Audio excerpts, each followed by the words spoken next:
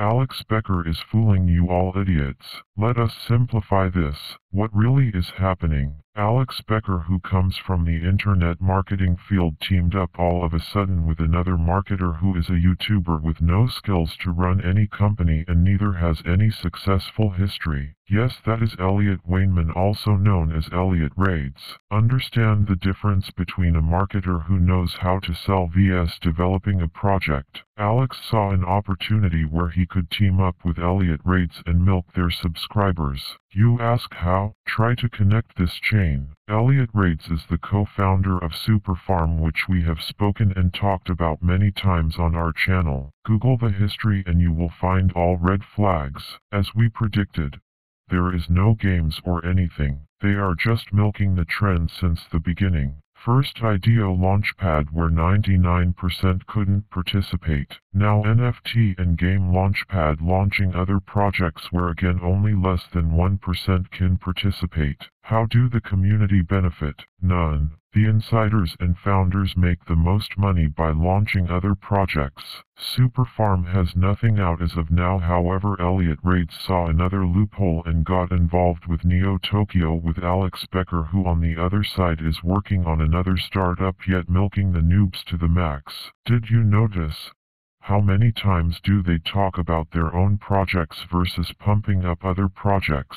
It's all about the money. Road to billions. Only for them. 99.9% of you won't make it following them. But why does Crypto Banter, Yvonne on Tech promote Super Farm? You idiot Deegan, don't you see, it's only a few same influencers promoting each other back and forth. Elliotrades, Alex Becker, Crypto Banter, Ivan, and sometimes BitBoy, they all get into the same projects as an advisor and cross-promote. Don't believe me, idiot, just go research. But Superfarm said they have a game? Imposter, Mwahaha where, delays and delays and in the meantime they are feeding you bullshit introducing other games and Launchpad. So what is Super Farm? Notice how they play with their words and tweets. Be smart. Oh that is why there is no YouTube channel for Super Farm. Is there one? They don't have a dedicated YouTube channel because they don't know what should they even talk about when they don't have a clear roadmap.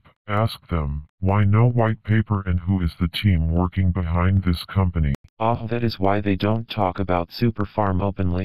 Ha ha ha exactly idiot. They don't provide time slots. Can you show me one dedicated video on Super Farm talking about the entire game and process? Official Super Farm channel not just from any other noob YouTuber. There are thousands of projects with team and marketing and they explain everything well. Super Farm is dirty, shady, and operating in an illegal manner. Clues everywhere. But why Super Farm pump? Exactly idiot. Notice how Crypto Banter and Alex Becker has been pumping it. Did he create a separate video on Super Farm? No.